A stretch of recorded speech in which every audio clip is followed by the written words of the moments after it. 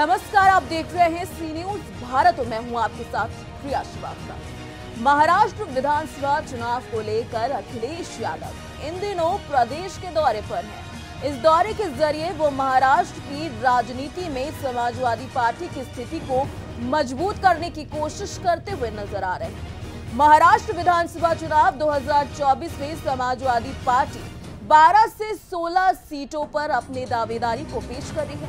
Samajwadi party नेता अबू आजमी प्रदेश में party को कांग्रेस शिवसेना उद्धव ठाकरे गुट और एनसीपी शरद पवार गुट के साथ मिलकर चुनावी मैदान में उतरने की कोशिश करते हुए नज़र आ रहे हैं। वहीं पार्टी अपनी चुनावी रणनीति को धार देती हुई भी नज़र आ रही है।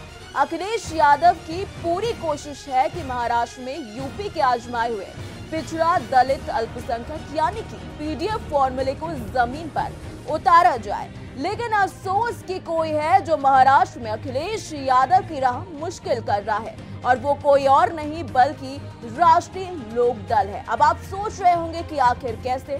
तो चलिए वो भी बता देते हैं। दरअसल एक तरफ़ जहाँ समाजवादी पार्टी के मुखिया अखिलेश यादव महाराष्ट्र में रैली कर रहे थे तो दूसरी तरफ़ राष्ट्रीय लोक दल ने महाराष्ट्र में पूर्व समाजवादी पार्टी अधिवक्ता सभा के प्रवक्ता एडवोकेट विवेक कुमार पांडे, जो समाजवादी पार्टी छोड़कर राष्ट्रीय लोकदल में शामिल हुए, उन्हें प्रदेश सचिव की महत्वपूर्ण ज़िम्मेदारी पार्टी ने दे दी है।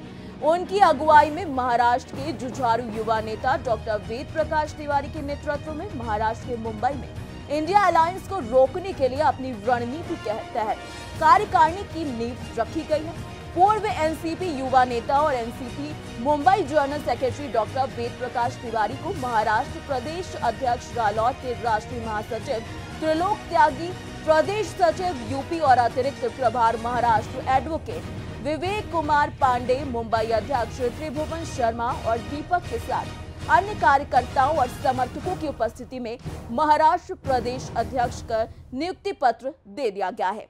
यानी कि देखा जाए तो राष्ट्रीय लोकदल महाराष्ट्र में अखिलेश यादव की राह का कांटा बन रहा है। दरअसल यूपी और राजस्थान के बाद रालौद, अब बिहार, झारखंड, उत्तराखंड, दिल्ली और महाराष्ट्र में भी पार्टी का विस्तार करने की सोच रहा है। ऐसे में जब महाराष्ट्र का चुनाव होने वाला है तो रालौद समाजवादी विचारधारा को और प्रभावित करने के लिए ऐसा कर रही है। महाराष्ट्र में पूर्व समाजवादी पार्टी अधिवक्ता सभा के प्रवक्ता एडवोकेट विवेक कुमार पांडे समाजवादी विचारधारा की मज़बूत कड़ी थे। ऐसे में उनको राष्ट्रीय लोक दल में शामिल करना अखिलेश यादव के मंसूबों पर पानी फेरने जैसा ही है। फ़िलहाल इस खास रिपोर्ट में तही देश दुनिया की बाकी खबरों के साथ जुड़ने के लिए आप देखते रहिए सी न्यूज़ भारत।